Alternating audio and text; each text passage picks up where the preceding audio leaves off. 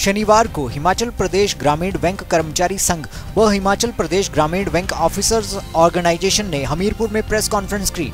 Press conference के दौरान हिमाचल प्रदेश ग्रामीण बैंक ऑफिसर्स ऑर्गेनाइजेशन के उपाध्यक्ष एन के नंदा ने कहा कि बैंक चेयरमैन सतीश चावला ने all India Gramin bank officers organization के नेता डीसी शर्मा को अवैधानिक तरीके से सेवानिवृत्त कर दिया।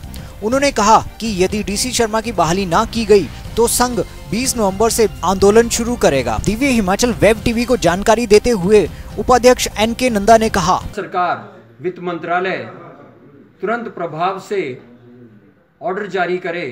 सतीश कुमार चावला को सस्पेंड करने के, इसके अगेंस्ट कार्रवाई करने के और डीसी शर्मा जी का जो पेनल्टी दी गई है, उसको अविलंब निरस्त किया जाए।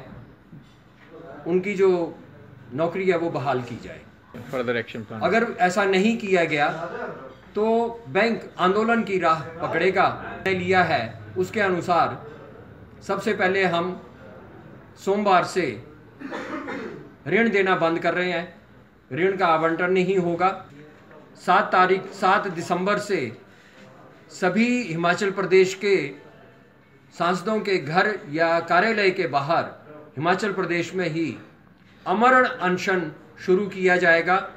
तेरह तेरह दिसंबर को हड़ताल की जाएगी और एक जनवरी 2018 से दिव्य हिमाचल वेब टीवी के लिए हमीरपुर से सनी पठानिया की रिपोर्ट।